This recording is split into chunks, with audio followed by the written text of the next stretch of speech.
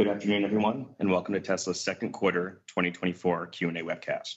My name is Travis Axelrod, Head of Investor Relations, and I'm joined today by Elon Musk, Vaibhav Taneja, and a number of other executives. Our Q2 results were announced at about 3:00 P.M. Central Time in the update deck we published at the same link as this webcast. During this call, we will discuss our business outlook and make forward-looking statements. These comments are based on our predictions and expectations as of today. Actual events or results could differ materially due to a number of risks and uncertainties, including those mentioned in our most recent filings with the SEC. During the question and answer portion of today's call, please limit yourself to one question and one follow-up. Please use the Raise Hand button to join the question queue. Before we jump into Q&A, Elon has some opening remarks. Elon? Thank you. So to recap, we saw large uh, adoption acceleration in EVs, um, and then a bit of a hangover as others struggle to make uh, compelling EVs. Um, so there have been quite a few um, competing electric vehicles that have entered the market, and mostly they have not done well, but they have discounted their EVs very substantially, which has made it a bit more difficult for for Tesla. We don't see this as a long-term issue, but really as fairly short term. And uh, we still obviously firmly believe that EVs are best for customers and that uh, the world is headed for a fully electrified transport, uh, not just of cars, but also of uh, aircraft and boats. Despite many challenges, the Tesla team did a great job executing, um, and we did achieve record quarterly revenues. Energy storage deployments reached an all-time high in Q2, leading to record profits for the energy business. And we're investing in many future projects, including AI training and inference, and deal of infrastructure to support uh, future products. I won't get too much into the product roadmap here because that is uh, reserved for product announcement events. But we are on track to develop to deliver a more affordable model in the first half of next year. The, the big, the, really, by far, the biggest differentiator for Tesla is autonomy. In addition to that, we have scale economies, and we're the most efficient electric vehicle producer in the world. So while while others are pursuing different parts of the AI robotics stack, we are pursuing all of them. This allows for better cost control, more scale, quicker time to market, and a superior product, uh, applying not to not just to autonomous vehicles, but to autonomous humanoid robots like Optimus. Regarding Full Self-Driving and Robotaxi, we've made a lot of progress with Full Self-Driving in Q2, and with version 12.5 beginning rollout, uh, we think customers will experience a step change improvement in uh, how well supervised Full Self-Driving works. Uh, version 12.5 has five times the parameters of 12.4 and will finally merge the highway and city stacks. Um, the highway stack is still, at this point, pretty old. Um, often the issues people encounter are on the highway, but with 12.5, we finally merged the two stacks. Um, I still find that um, most people uh, actually don't know how good the system is, and I would encourage anyone to understand the system better to simply try it out and let let the car drive you around. One of the things we're gonna be doing just to make sure people actually understand the capabilities of the car is when delivering a new car um, and when picking up a car for service, to just show people how to use it and just drive them around the block. Once people use it at all, that they they tend to continue using it. So it's uh, very compelling, and um, this, I think, will be a massive demand driver. Even unsupervised Full Self-Driving will be a massive demand driver. And as we increase the miles between intervention, it will transition from supervised Full Self-Driving to unsupervised Full Self-Driving, and we can unlock massive potential in the fleet. We postponed the sort of Robotaxi or the sort of product uh, unveil by a couple months, where where it's shifted to 10/10. And this is because I wanted to make some important changes that I think would improve the the big, the sort of the Robotaxi, the thing that thing that we're the main thing that we're gonna show, and we're also gonna show off a couple of other things. Um, so moving back back a few months allowed us to improve the the taxi as well as add in a couple other things for the product unveil. We're also nearing completion of the south expansion of Giga Texas, which will house our largest clip training cluster to date. Uh, this will be an incremental 50,000 H100s plus 20,000 uh, of our Hardware 4 or AI5 Tesla AI computer. With with Optimus uh, Optimus is already performing tasks in our factory, um, and uh, we expect to have Optimus production version one in in limited production starting early next year. Uh, this will be for Tesla consumption. It's just better for us to iron out the issues ourselves. But we, we expect to have several thousand Optimus robots produced and doing useful things by the end of next year uh, in the Tesla factories. Uh, and then in 2026, ramping up production quite a bit. Um, and at that point, we'll be providing Optimus robots to uh, outside customers. That'll be production version two of Optimus. For the energy business, this is growing faster than anything else. This is we're really demand constrained rather than production constrained. So we're ramping up production in our U.S. factory as well as uh, building the Megapack factory in China that uh, should roughly double our output, maybe more than double, maybe triple potentially. So in conclusion, we're super excited about the progress across the board. We're changing the energy system, how people move around, approach the economy. The undertaking is massive, but I think the future is incredibly bright. I really just can't emphasize just the importance of autonomy uh, for the vehicle side and for Optimus. Although the numbers sound sound crazy, um, I think we're producing at volume with with FSD, essentially enabling the fleet to operate like a giant autonomous fleet. Uh, and it takes the valuation, I think, to some pretty crazy number. ARK Invest thinks on the order of $5 trillion. I think they're probably not wrong. And long-term Optimus, I think, is achieves a valuation several times that number. I want to thank the Tesla team for strong execution and looking forward to exciting years ahead. Great. Thank you very much, Elon. And Vaibhav has opening remarks as well. Thanks. As Elon mentioned, the Tesla team rose to the occasion yet again and delivered on all fronts with some notable records. In addition to those records, we saw our automotive deliveries go sequentially. I would like to thank the entire Tesla team for their efforts in delivering a great quarter. On the auto business front, affordability remains a top of mind for customers. And in response, in Q2, we offered attractive financing options to offset sustained high interest rates. These programs had an impact on revenue per unit in the quarter. These impacts will persist into Q3 as we have already launched similar programs. We're now offering extremely competitive financing rates in most parts of the world. This is the best time to buy a Tesla. I mean, if you're waiting on the sidelines, come out and get your car. We had a record quarter on regulatory credits revenues and as well. On net, our auto margins uh, remained flat sequentially.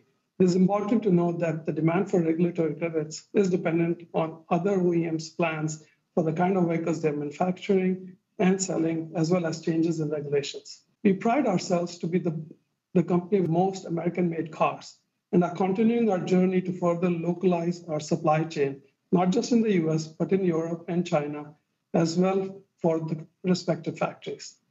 As always, our focus is on providing the most compelling products at a reasonable price. We have stepped up our efforts to provide more trims that have estimated range of more than 300 miles on a single charge. We believe this, along with the expansion of our supercharging network, is the right strategy to combat range anxiety. Since the revision of FSD pricing in North America, we've seen adoption rates increase meaningfully and expect this to be a driver of vehicle sales as the feature set improves further. Cost per vehicle declined sequentially when we removed the impact of Cybertruck. While we are experiencing material costs trending down, note that there is latency on the cost side, and such reductions would show up in the P&L when the vehicles built with these materials get delivered. Additionally, as we get into the second half of the year, it is important to note that we are still ramping Cybertruck and Model 3 and are also getting impacted by varying amounts of tariffs on both raw materials and finished goods. While our teams are working feverishly to offset these, unfortunately, it may have an impact on the cost in the near term. We previously talked about the potential of the energy business and now feel excited that the foundation that was laid over time is bearing the expected results. Energy storage deployments more than doubled, with contribution not just from Megapack, but also Powerwall, resulting in record revenues and profits for the energy business. Energy storage backlog is strong. As discussed before, deployments will fluctuate from period to period, with some quarters seeing large increases and others seeing a decline. Recognition of storage gigawatt hours is dependent on a variety of factors, including logistics timing, as we send units from a single factory to markets across the world, customer readiness, and in case of EPC projects on construction activities. Moving on to the other parts of the business, service and other gross profits also improved sequentially from the improvement in service utilization and growth in our collision repair business. The impact of our recent reorg is reflected in restructuring and other on the income statement. Just to level set, this was about $622 million of charge, which got recorded in the period. And I want people to remember that we've called it out separately on the financials. Sequentially, our operating expenses, excluding such charges, reduced despite an increase in spend for AI-related activities and higher legal and other costs. On the CapEx front, while we saw a sequential decline in Q2, we still expect the year to be over 10 billion in CapEx as we increase our spend to bring a 50K GPU cluster online. This new cluster will immensely increase our capabilities to scale FSD and other AI initiatives. We reverted to positive free cash flow of 1.3 billion in Q2. This was despite restructuring payments being made in the quarter, and we ended the quarter with over 30 billion of cash and investments. Once again, we've begun the journey towards the next phase for the company, with the building blocks being placed. It will take some time, but will be a rewarding experience for everyone involved. Once again, I would like to thank the entire Tesla team for their efforts. Great. Thank you very much, Vaibhav. Uh, now let's go to investor questions. Uh, the first question is, uh, what is the status on the Roadster? With respect to the Roadster, we've completed most of the engineering, and um, I think there's still some upgrades we want to make to it, but we expect to be in production with Roadster next year. Great. It'll be something special, like a Hall of Famer, I think. Fantastic. Uh, the next question is about timing of Robotaxi event, which we've already covered. Uh, so we'll go to we'll go to the next question. Uh, when do you expect the first Robotaxi ride? Yes, guess that's really just a question of when do I expect the first, when can we do unsupervised Full Self-Driving? It's difficult, obviously, my my predictions on this have been overly often in the past. So, I mean, based on the current trend, it seems as though we we should get miles between interventions be high enough that it's be far enough in excess of humans that you could do unsupervised possibly by the end of this year. I would be shocked if we cannot do it next year. So next year seems highly probable to me based on points simply plus the points of the curve of miles between intervention. That trend exceeds uh, humans for sure next year. So, yeah. Thank you very much. Um, our third question is, the Cybertruck is an iconic product that uh, wows everyone who sees it. Do you have plans to expand the Cyber vehicle lineup to a Cyber SUV or Cyber van? Uh, I think we want to limit um, product announcements to when we have a special specific product announcement event uh, rather than earnings calls. Great. Thank you.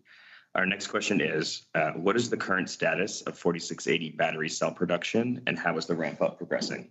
4680 production ramped strongly in Q2, delivering 51% more cells than Q1 while reducing COGS significantly. Currently produce more than 1,400 Cybertrucks of 4680 cells per week, and we'll continue to ramp output as we drive costs down further towards the cost parity target we set for the end of the year.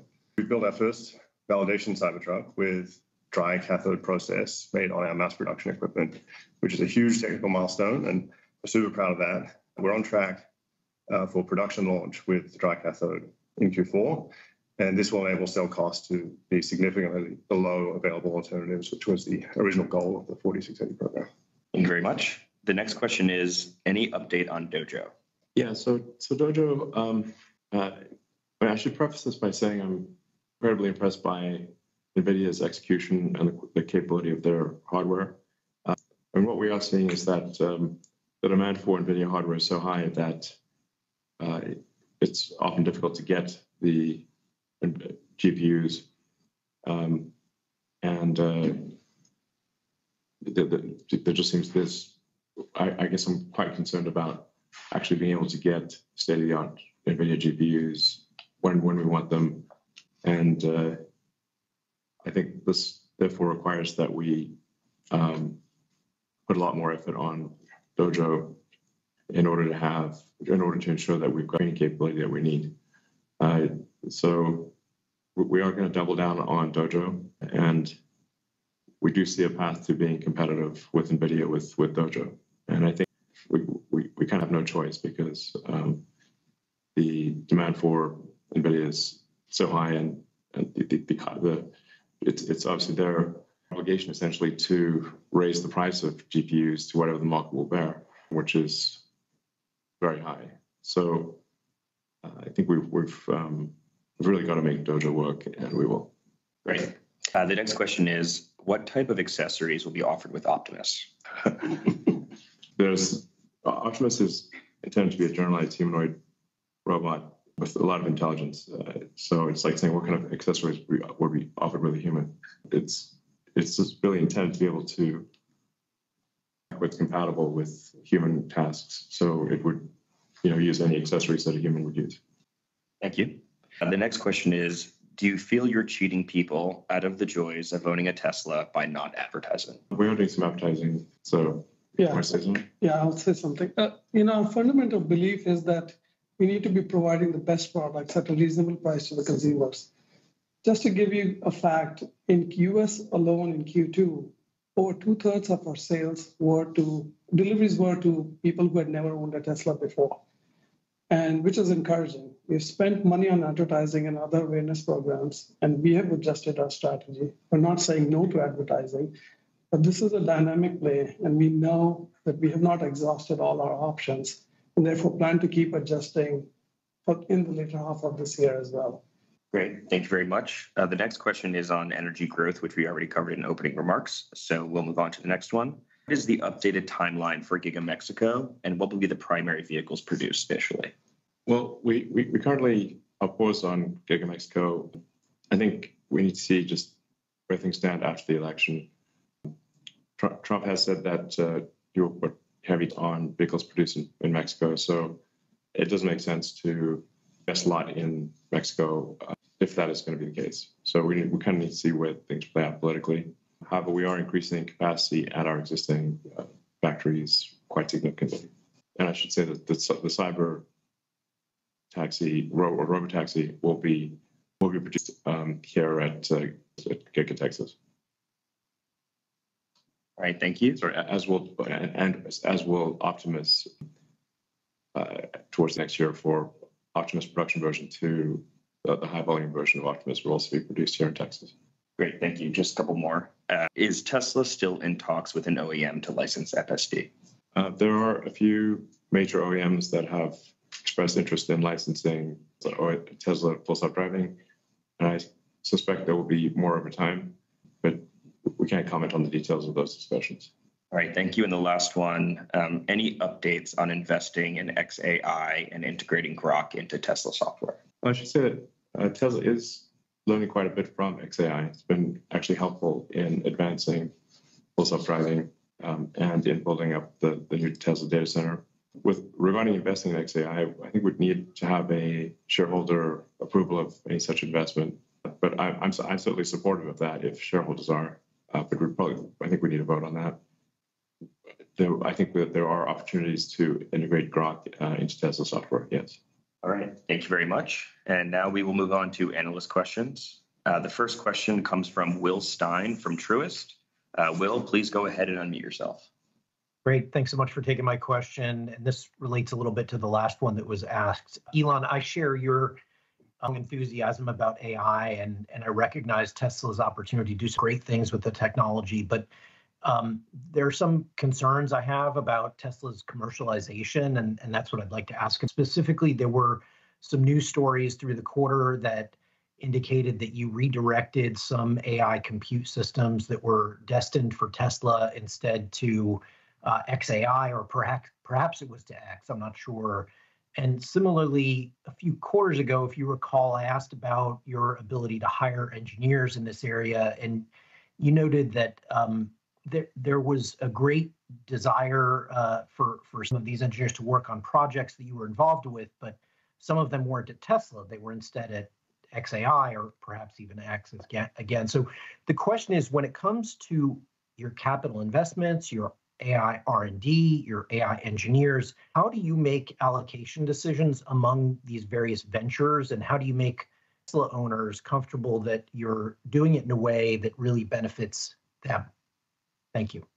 Yeah, I mean, I think you're referring to a very, uh, like an old article um, regarding uh, GPUs. I think that's like six, six or seven months old.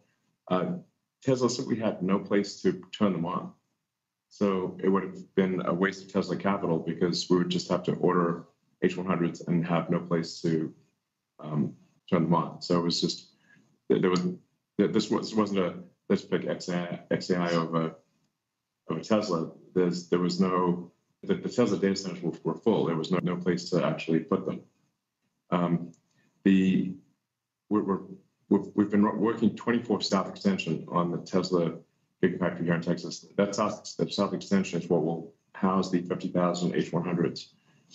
And we're, um, we're beginning to move the uh, H100 server racks uh, into place there. But uh, we were really needed, we needed that to be complete, you know, order compute, order uh, GPUs and, and turn them on with no, you need, you need a data center. It's not possible. So I want to be clear, that was in, in Tesla's interest, not contrary to Tesla's interest. Does Tesla no, does Tesla no good that can't turn on? Um, the split second the, that South Extension is able to take, just, uh, which is really just this week, um, we are moving the GPUs in there and we'll bring them online. With regard to uh, XAI, the, there, there are people that, that only work. So what I was finding was that when trying to recruit people to, to Tesla, they they they were they were only interested not not Tesla specific problems, um, and uh, and they wanted to start a do a startup. Um, so it was either they go to a startup or and I'm involved, or they do a startup and I'm not involved. Those are the two choices. This wasn't. Uh, oh, they would they, they would come to Tesla. They would come to Tesla under any circumstances. So, um, yeah. yeah. Yeah, I mean, I would even add that, you know, AI is a broad spectrum.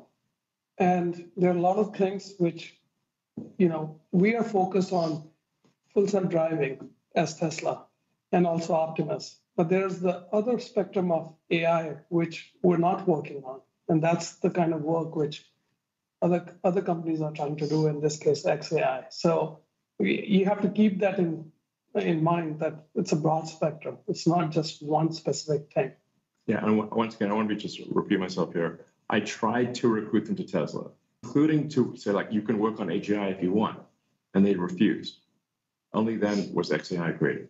I, I really appreciate that clarification. If I ask one follow up, it relates to uh, the new uh, vehicles that you're planning to introduce next year. I understand uh, this is not the venue for uh, product announcements, but when we think about the focus I've heard on the one hand that the focus is on cost reduction. On the other hand, you also said that the Roadster would uh, would come out. Should we expect maybe more limited variants, like uh, similar to the cars that you make today, but with you know some changes or improvements or different um, some other variability in the form factors? Should we expect that to be a significant part of the strategy in the next year or two? I, I don't want to get into the details of product announcements. Uh, and um, and we have to be careful of the Osborne effect here. So, uh, you know, if you start announcing some great thing, it, it affects our near-term sales. We're we're going to make great products in the future, just like we have in the past. And a story. Great. the next question comes from Ben Kallo from Baird. Uh, ben, please go ahead and unmute yourself. Hi, uh, thanks for taking my question. Uh, when we think about revenue contribution and with energy growing so quickly, and you know Optimus on the come. how do we think about, you know, the overall segments longer term? And then do you think that auto revenue will fall below 50% of your overall revenue? And then my follow-up is just on the last call, you talked about uh, distributed compute on your new hardware. Could you just update us and talk a little bit more about that, the timeline for it, and you know how you would reward uh, customers for letting you use their their compute power in their cars? Thanks. I mean, as I've said a few times, I, I think the long-term value of Optimus will exceed that of everything else at Tesla combined. So um, it's simply, you just simply consider the, the usefulness, utility of a humanoid robot that can do pretty much anything you ask of it. Um, I think everyone on Earth is going to want, want one. There's 8 billion people on Earth, so that's 8 billion right there. Then you've got uh, all of the industrial uses, which is probably at least as much, if not way more. So I suspect that the long-term demand for general-purpose humanoid robots is in excess of 20 billion units. And uh, Tesla is that has the most advanced humanoid robot in the world, uh, and is also very good at manufacturing, which these other companies are not. Um, and we've got a lot of experience with the, most experience. We're, we're the world leaders in real-world AI. So we, we have all of the ingredients. We, I think we're unique in having all of the ingredients necessary for large-scale, high-utility, generalized humanoid robots. That, that's why, I mean, you know, my rough estimate long-term is in accordance with the uh, ARK Invest analysis of, you know, a market cap of on the order of five trillion for maybe more for autonomous transport, and it's several times that number for general purpose humanoid robots. I mean, at that point, I'm not sure what money even means, but uh, you know, in, in the benign AI scenario, we're headed for an age of abundance, where there is no shortage of goods and services. Anyone can have pretty much anything they want. It's a it's a wild, very wild future we're headed for. On the distributed compute, Yeah, distributed compute. That seems like a pretty obvious thing to do. I, I think the where the distributed compute becomes interesting is with our next generation AI uh, chip, which is hardware five, or what we're calling AI five, which is um, from from the standpoint of in, inference capability comparable to a B200, uh, an, an NVIDIA B200, um, and we're aiming to have that uh, at the end of next year and scale production in 26. So it just just seemed like if you've got even if you've got autonomous vehicles that are up know, 60 hours a week, there's 100, 168 hours in a week. So you have somewhere above, uh, I think, 100 kind of uh, neural net computing. I, I, I think we we need a better word than GPU because GPU means graphics processing unit. So there's a 100 hours plus per week of AI compute, AI inference compute from the fleet, from the vehicles, and probably some percentage from the humanoid robots, that it would make sense to do distributed inference. And if you if there's a fleet of, you know, at some point 100 million vehicles with AI 5 and beyond, because have AI 6 and 7 and whatnot, um, and there may be billions of humanoid robots, that is just a staggering amount of of inference compute or that, that could be used for general purpose computing. It doesn't have to be used for the humanoid robot or for the car. So I think, you know, that's just that, that that's a that's a pretty obvious thing to say. Like, the more you do nothing. Um, All right, thank you. Uh, The next question comes from Alex Potter from Piper. Uh, Alex, please go ahead and unmute yourself. Perfect. Thanks. Wanted to ask a question on FSD licensing. You mentioned that in passing previously. Was just wondering if you can elaborate maybe on the mechanics of how that would work. I guess presumably this would not be some sort of simple plug and play proposition. That presumably a, an OEM would need, I don't know, several years to develop its own vehicle platform that's based on FSD. I, I, I imagine they would need to adopt Tesla's electrical architecture, compute, uh, sensor stack. So, I, I, correct me if I'm sort of misunderstanding this, but if you had a cooperative agreement of some kind with another OEM, then presumably it would take you several years before you'd be able to recognize licensing revenue from that agreement. Is that the right way to think about that? yes, the OEMs do not move fast. There's, not really a sensor suite. It's just cameras. Uh, but uh, they would have to integrate our AI computer and have cameras with with a 360 degree view and um, at least the gateway, like the what what talks to the internet uh, and communicates with the Tesla system. With, with you need kind of a gateway computer too. So it's really gateway computer with uh, cellular and Wi-Fi connectivity, the Tesla AI computer, and um, seven cameras, or not cameras, again, a 360 degree view. Uh, but the, the, this will, given, given the speed at which uh, the auto industry be several years before this, you would see this in volume. Okay, good. That's that's more or less what I expected. So then the follow-up is if you did sign an FSD licensing agreement with another automaker, when do you think you would disclose that? Would you do it right when you sign the agreement or only after that multiple years has passed and the vehicle is ready to be rolled out? I think it depends on on the the OEM. I, I guess would be happy either way. Um, it depends on you know what kind of arrangement we enter into.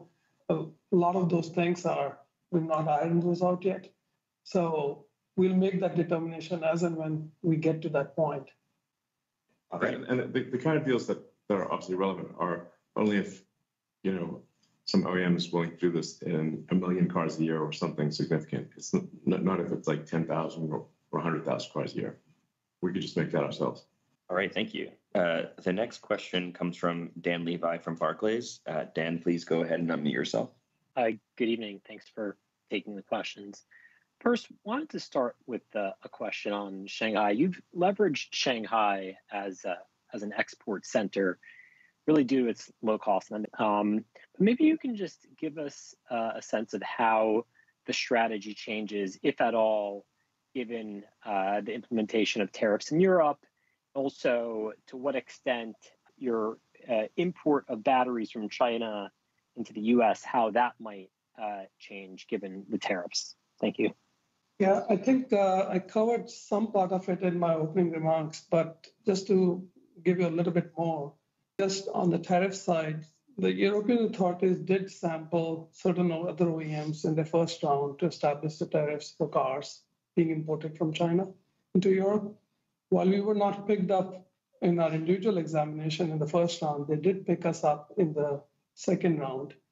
They, they visited our factory. They, we worked with them, provided them all the information. You know, as a result, we, we are adjusting our import strategy out of China into Europe.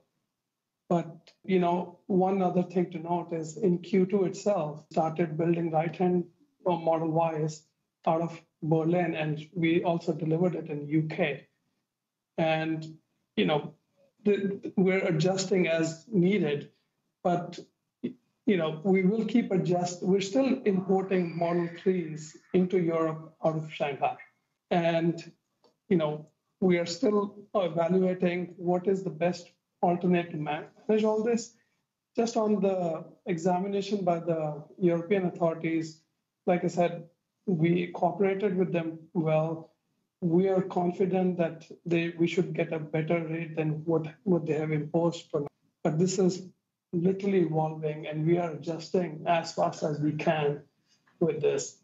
it, it is, I would also add that, you know, because of this, you've seen the impact that Berlin is doing more imports into places like Taiwan, as well as, you know, uh, UK I just mentioned. So it will keep changing and we will keep adapting as we go about it.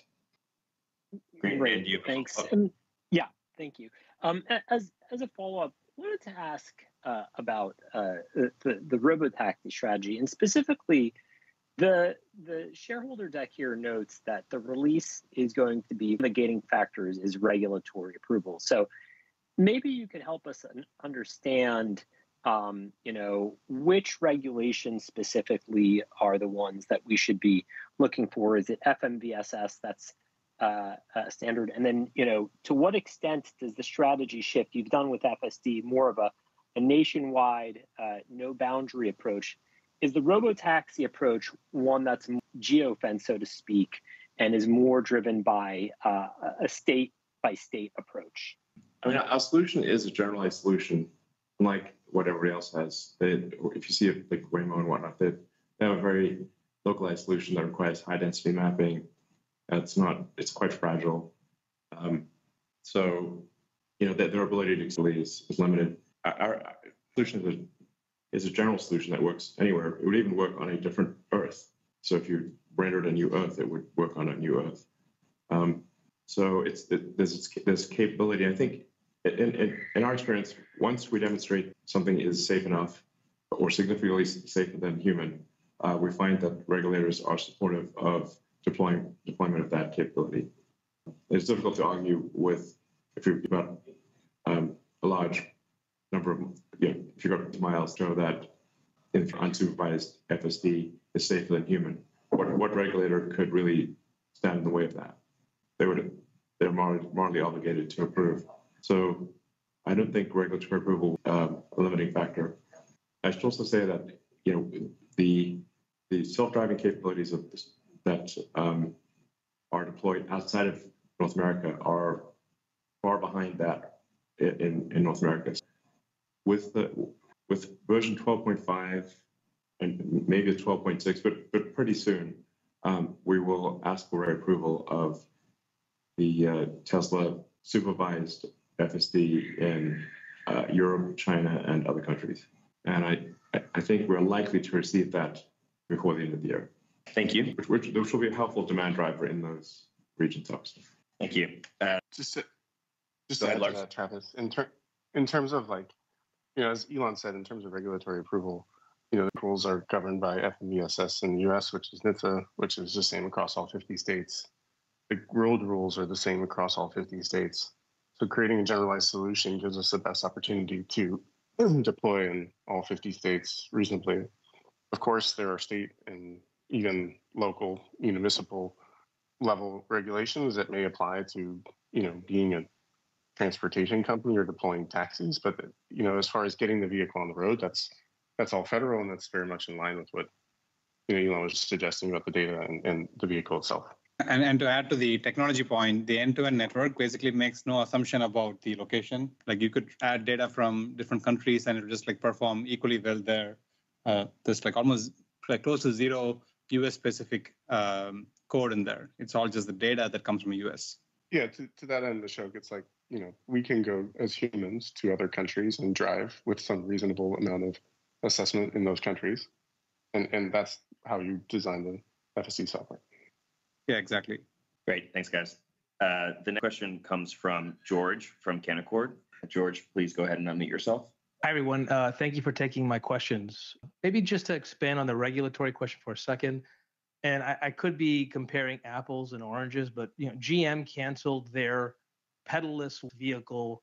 Uh, and according to the company this morning, their decision was driven by uncertainty about the regulatory environment from what we understand, and, and again, maybe I'm wrong here, but the robo taxi that has been you know shown at least in images of the public is also pedalless and wheelless. Is there a different regulatory concern just if you deploy a vehicle like that that doesn't have you know, a pedal, a pedals or a wheel, and that made that different from uh, just on a traditional Tesla vehicle? Thank you.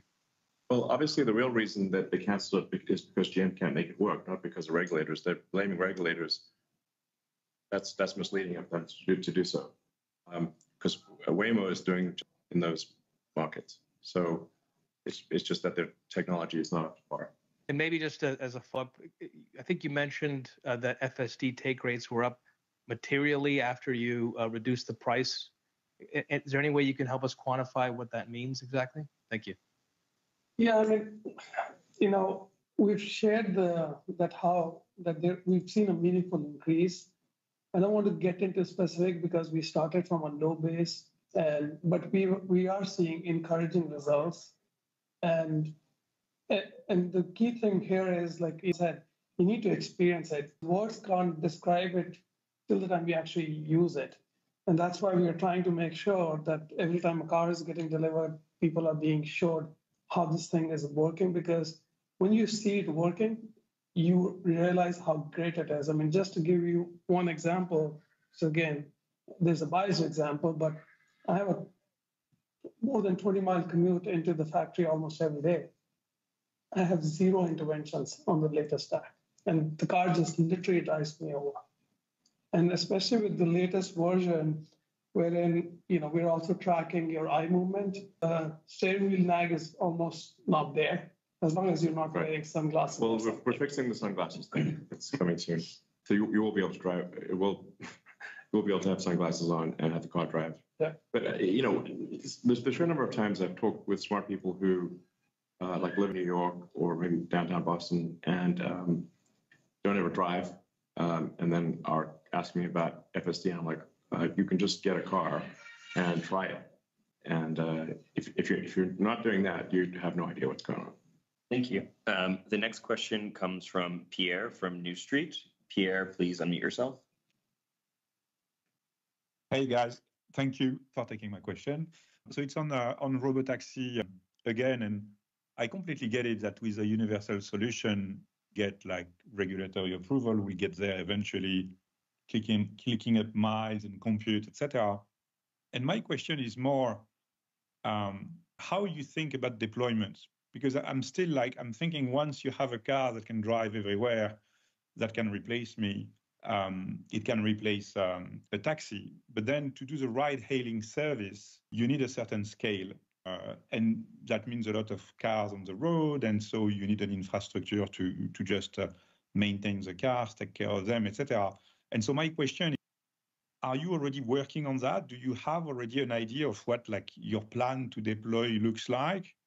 And is that like a Tesla only plan, or are you looking at partners, local partners, global partners do that? And I'll have a quick follow-up.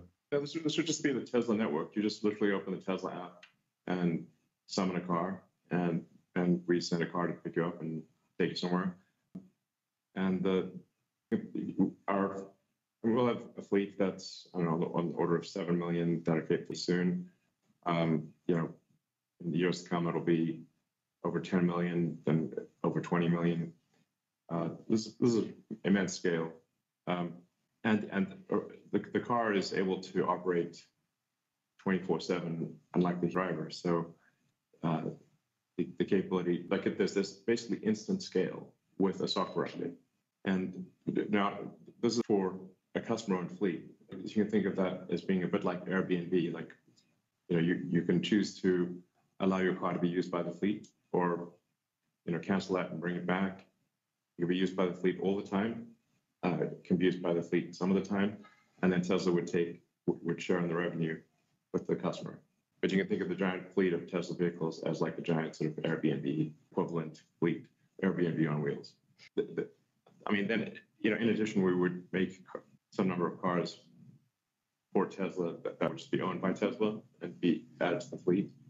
I guess that would be more like Uber. Um, but this this would all be the Tesla network. And, and there's an important clause we've put in, in, in every Tesla purchase, which is that the Tesla vehicles can only be used in the Tesla fleet. They cannot be used by a third party for autonomy. Okay. And and do you think that scales like progressively, so you can start in a city with just uh, a handful of cars, and you you grow the number of cars over time, or do you think there is like a critical mass to get to to be able to offer like a service that is of uh, competitive quality compared to what like the like Uber would be typically delivering already?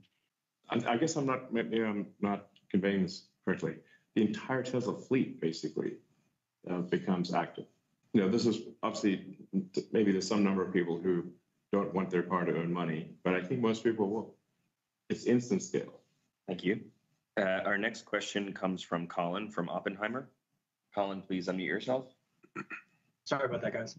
Um, you know, I've got two questions around energy storage. You know, with the the tight supply and the stationary storage, can you talk about your pricing strategy and how you're thinking of saturation in given geographies, given that you know some of these larger systems are starting to shift uh, wholesale power markets in a pretty meaningful way quickly? So yeah, I mean, you know, we are working with a large set of uh, players in the market, and you know, our pipeline is actually pretty pretty long, and there's actually a very there's actually long end in terms of where you enter into a product to where delivery started starts happening, and so far we have good pricing leverage, and I'll have Mike chime in on this too. Yeah, I mean, there's there's a lot of competition from Chinese OEMs, just like there is in the vehicle space. So we're in close contact with our customers and making sure that we're remaining competitive in where they're needing to be competitive to secure contracts to sell power and energy in the markets. Um, we had a really strong contracting quarter and continue to build our backlog for 2025 and 2026. Um, so we feel pretty good about where we are in the market. We realize that competition is strong, but we have a pretty strong value proposition with you know offering a fully integrated product with our own power electronics and site-level controls, so. Yeah. And again, the aspect which people miss do not fully uh, understand is that there's also a whole software stack which comes with our Megapack. Right. And that is a unique proposition which we have, which is only available to us. And we're using it with other stuff too, but that gives us a much much much more of an edge as compared to the competition. Yeah. Yeah. We find customers that they could have put together a hodgepodge solution, um, and then sometimes they'll pick that solution, um, and then that that doesn't work. Um, And then they come back to us. Yeah. And we're not really seeing saturation for, like on a global scale. There's there's little pockets of saturation in different markets, but we're more seeing that there's there's markets opening up. Demand on the grid just continues to increase more than anyone expects. Um, that just opens up markets you know, really across the world in different pockets. Yeah. I mean, just just even on the AI compute side, like these these uh, are really power-hungry. And the amount of you know new pipeline which we're getting people for data center backup and things like that is increasing at a pretty large scale. Yeah. Thanks so much. And then the follow-up here is around the 4680 uh, process technology you know, and the roll-to-roll process. You know, you there's some news around your your equipment suppliers. You know, can you talk about how far along you are in potentially qualifying incremental supplier around some of those critical process technology steps? Yeah, I can I can talk about that. Um, you know, as you're probably referring to to the lawsuit with one of our suppliers, look, I don't think this is going to affect our ability to to roll out 4680. You know, We have very strong IP position in the technology, and you know, the majority of the equipment that we use is in-house designed, and and some of it's in-house built. And so we can we can take our our IP stack and, and have someone else build it if if we if we need to. That's not really a concern right now. Yeah. I think people don't understand how much demand there will be for grid storage. They really just, like the the people, I think, are underestimating this demand by probably orders of magnitude. So that the the um, energy total energy output of, say, the U.S. grid is, if if the power operate at state, is at least two to three times uh, the amount of energy it currently produces. Uh, because there are huge gaps. There's a huge difference in the um, from peak to trough in terms of energy or power. In order for a grid to not have blackouts, it must be able to support the load at the worst minute of the worst day of the year, the coldest or hottest day, which means that for the rest of the time, the rest of the year, it's got massive excess um, power generation capability, but it has no way to store that that energy. Um, once you add battery packs, you can now run the power plants um, at steady state. Steady state means that you know basically any given grid anywhere in the world can um, produce, in terms of cumulative energy in the course of a year, at least twice what it is currently producing. In some cases, maybe three times. All right. Thank you. Uh, this is a very profound thing. Thank you, Elon. Uh, the next question comes from Colin Langan from Wells Fargo. Colin, please unmute yourself. Oh, great. Uh, uh, thanks for taking my questions. Um, do you hear me? Yeah. Yeah. Oh, okay. Sorry. I guess we ask, You know, if if Trump wins, there's a higher chance IRA could get cut. I think, Elon, you had commented online that Tesla doesn't survive on EV subsidies. But wouldn't Tesla lose a lot of support if IRA goes away? I think Model Y, 3 and Y IRA help for customers, and I think your batteries get production tax credits. So so just one, can you clarify if the end, if IRA ends, you know, would it be a negative for your profitability in the near term, not be a? And then you know, any framing of the the current you know, support you get IRA related? I guess that there would be like some impact, but I think it would be devastating for our competitors, but uh, and it would hurt Tesla slightly. But long term probably actually helps Tesla. Would be my guess. Yeah. Um, but and I've said this before in these calls. The value of Tesla overwhelmingly is autonomy. Um, these other things are in the noise relative to autonomy. So I recommend anyone who doesn't believe that Tesla will solve vehicle autonomy should should not hold Tesla stock. They should sell their Tesla stock. If you believe Tesla will solve autonomy, you should buy Tesla stock. And all these other questions are um, in the noise. Yeah, I mean, I'll ask this just to, just to clarify a few things that at the end of the day, when we are looking at business, we've always been looking at it whether or not IRA is there. And we want our business to grow healthy without having any, you know, subsidies coming in, whichever way you look at it. And that's the way we have always modeled everything. And that is the way internally also, even when we're looking at battery costs, yes, I there are manufacturing credits which we get, but we always drive ourselves to say, okay, what if there is no IRA benefit? And how do we operate in that kind of an environment? And like Elon said, we definitely have a big advantage as compared to our competition on that front. We've delivered it and you can see it in the numbers over the years. Like, so there is, you, you cannot ignore the fundamental sides of the business. And then on top of it, once you add autonomy to it, like Elon said, it becomes meaningless to even think about the, the short term. Okay. Um, I think that's unfortunately all the time we have for today. Uh, we appreciate all of your questions. We look forward to talking to you next quarter. Thank you very much and goodbye. Thanks, man. I've had this vision